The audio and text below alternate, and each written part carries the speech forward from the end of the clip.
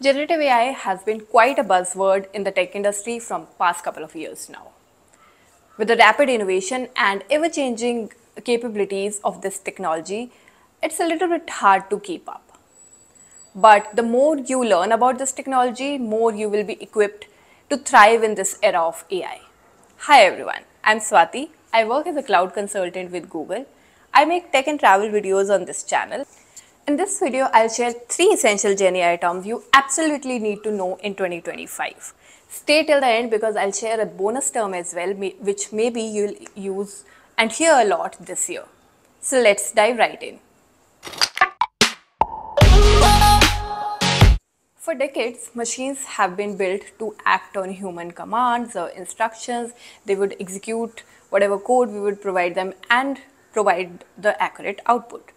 But gradually, now machines are uh, gaining the ability to learn, think, and act like humans. They can perform creative and intellectual tasks which earlier seemed to be impossible. And that's with the help of generative AI. So, generative AI is a type of artificial intelligence that generates brand new content based on the patterns it sees in the existing data. So, it does not act on some pre written code, but it learns patterns from its training data and then generates output, just like humans do. It learns from the data and then generates output. So that is what generative AI is. And that is uh, the main foundation behind a lot of tools which you are using like ChatGPT, Gemini, and many other such AI tools. Another essential thing about generative AI is that you can generate high quality content without requiring any specialized AI knowledge. Now the foundation of generative AI is LLM and that's what our first term is. LLM stands for large language models.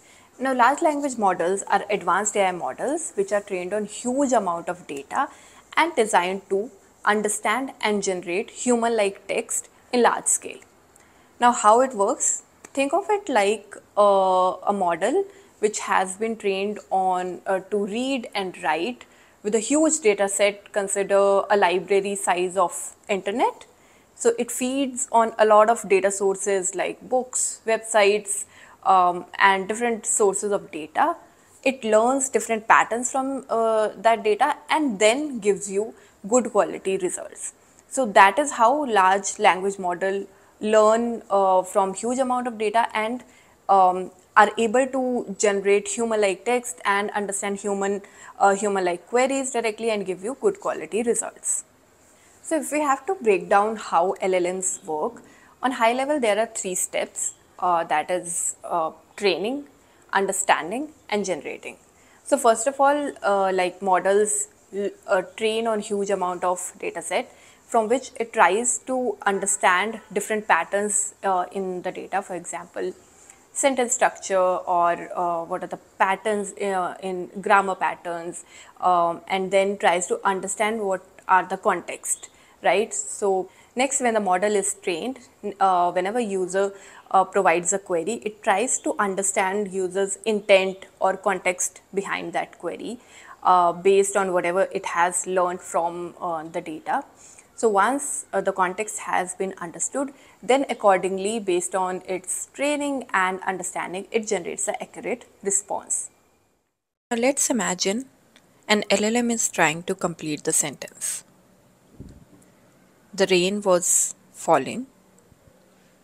Now it has to complete the sentence. It doesn't memorize the sentences but instead recognizes the patterns like Adjectives usually come before the nouns. For example, it could be a soft rain or heavy rain. And verbs often follow the subject. For example, falling heavily or gently. So, some of these words can complete this sentence. So, using this, it predicts and generates a continuation like, let's see, the rain was falling gently. So here we got the idea, right? LLM has not memorized the sentence, but it has tried to get some idea and understand the pattern from the data it was trained on. And using that, it generated this sentence. Now, contrary to uh, other machine learning models, which are usually uh, designed for one particular task, for example, movie recommendation machine learning model or weather forecasting model, which are usually designed for one particular uh, task, LLMs or large language models are very versatile. They they help you in a lot of tasks like uh, summarizing your text, uh, creating new content, whether uh, a new report for you or a new script for you or drafting an email for you and even generating a new code for you so they can help you in uh, or generating new uh, now uh, even generating new images or videos for you. So large language models are very versatile and a single model can do a lot of tasks for the user unlike other machine learning models which were usually designed for one particular or one specific task.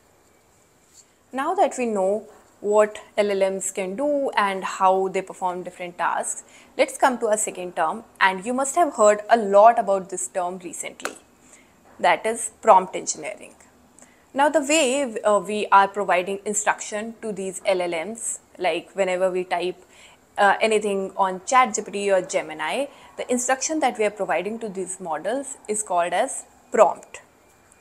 And these LLMs are very powerful and the way we are providing this instruction or the way we are providing these prompts in return accordingly we'll be getting uh, the response from the LLM. So the better quality prompt we uh, will be providing, the better quality result we'll get in, uh, in return. For example, uh, I write on ChatGPT, write a story. In this particular prompt, if you notice, there's not much background or not much context. It's a very generic prompt like write a story. Story could be about anything, what, what topic, for what purpose do you need it, there's nothing provided over here. Of course, model is going to generate the response, but that might not be very good quality and of course not cater to my requirement.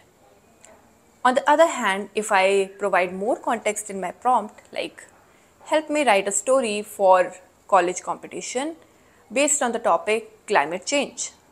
Here I am providing more background and more context in this prompt. So model would be able to generate a response more specific and more accurate response. So this way of communicating with these models, especially LLMs, by tweaking our prompts so that it can generate good quality um, output is called as prompt engineering. And the more you tweak with your prompts, the more you practice, better result you will get. So that, that's what prompt engineering is. Until late 2023, if you would have used these AI chatbots like Bard or ChatGPT, you would have noticed these models or these chatbots used to deal only with text data. That is, they were not able to understand or deal with other formats of data like images or videos or audio. Uh, cut to today. With the multimodal AI capabilities, we can now um, even uh, provide different uh, formats of data to these uh, chatbots, whether text, uh, audio, images, different formats you can provide as input and these uh, different formats can also be generated by these chatbots. Now, this is what a third term is, that is multimodal AI. Multimodal AI can process and integrate different formats of data like text, images, audio, videos, etc.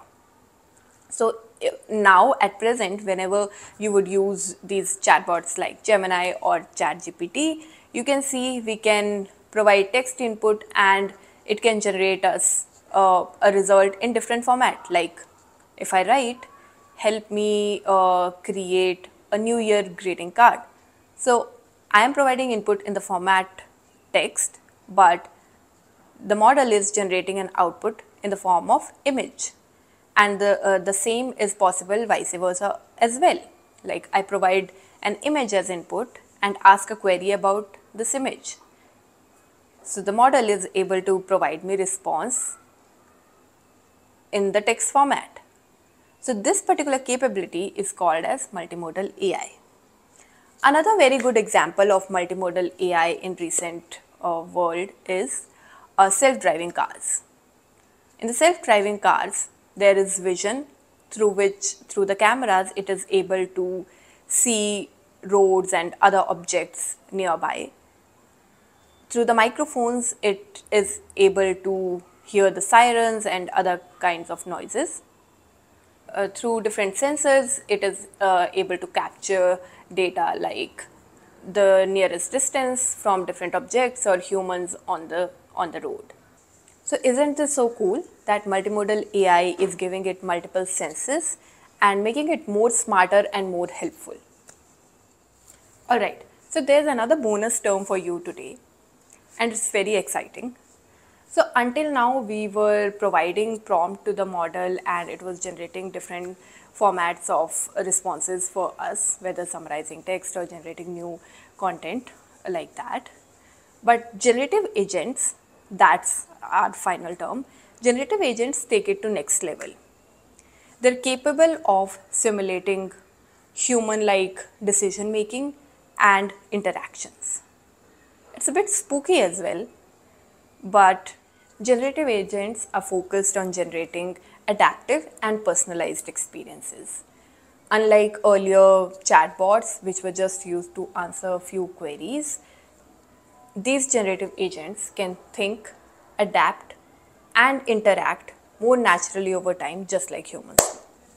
Some of the examples are like virtual assistant or customer support agents, which can handle customer queries, troubleshoot issues, and adapt to customers' responses over time.